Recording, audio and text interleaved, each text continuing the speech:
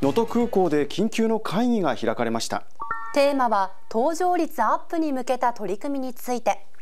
今年開港20年を迎えた能登里山空港がかつてない危機に陥っています。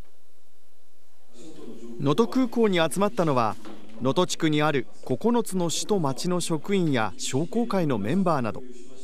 えー、本日は、えー、あのこの厳しい現状を皆さんと共有しまして、えー、力を合わせて、えー、目標達成に取り組むと、えー、取り組みたいということで、あのまあ、緊急的にお集まりをいただいたところでございます。搭乗率を上げるため女性制度の PR を強化することや女性額の増額などが話し合われました。今年開港20年を迎えた能登里山空港がある危機に陥っています。それは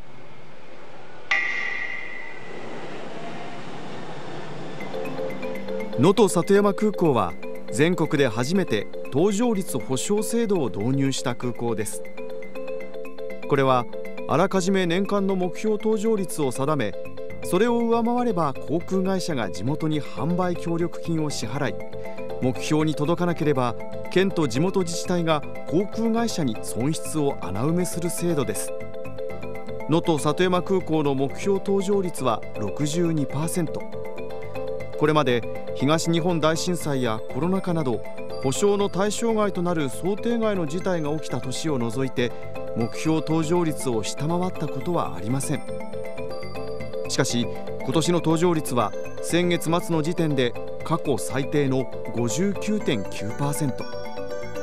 5年前の同じ時期と比べると13.4ポイント落ち込んでいます地震の影響があってその夏から秋にかけての予約が伸び悩んだということと、まああのまあ、地元の量もまあ減少しているということは、はい、あの確かに言えるかと思っています。これからの、まあ、搭乗率が低下する時期ではございますが、まあ、そこをあの一結束してあの地元の利用も促進していきたいと。それでまあなんとかその、えー、目標である62%の達成を目指したいというふうに考えております。県は今後首都圏からの団体客をターゲットにした旅行商品の開発を支援するほか地元向けに親子で参加できる航空ツアーなどを実施し搭乗率アップへ取り組む方針です。